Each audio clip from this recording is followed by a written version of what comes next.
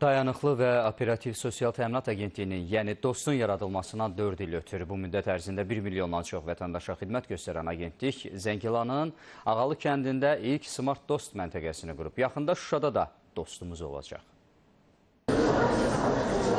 Dayanıqlı və Operativ Sosial Təminat Agentliyi ölkə başçısının müvafiq fərmanına əsasən yaradılıb. İndiyədək Bakı şəhərini və Abşeron rayonunu əhatə edən 5 dost mərkəzi açılıb.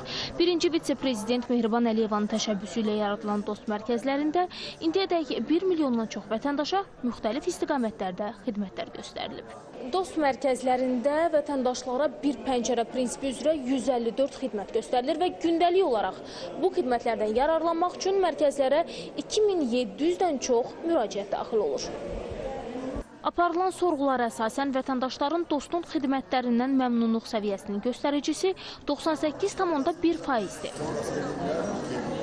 Nə üçünsə gəlmişəmsə, hamısına razı getmişəm. E, Yəni problem olmayıb heç vaxtda. O qədər gözəl qarşıladı, o qədər gözəl işimə yaradı ki. Təkcə bu il ərzində 340 minə yaxın vətəndaşa xidmət göstərilibdir. Dost mərkəzləri tərəfindən, bundan başqa çağrı mərkəzi tərəfindən bu il ərzində, cari il ərzində 950 minə yaxın vətəndaşa e, xidmət göstərilibdir bütün respublika üzrə.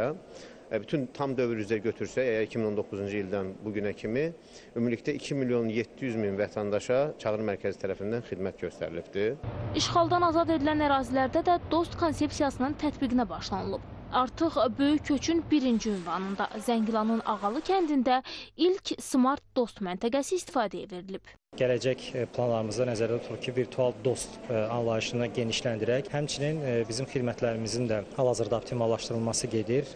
Yaxın zamanda həmin siyahıda dəyişikliklər olunacaq və xidmətlərimizin sayısı artacaq. Şuşa ili proqramı çərçivəsində Şuşa şəhərində yerləşəcək Şuşa Dost filialının açılışı da ilin sonuna açılması nəzərdə tutulmuşdur.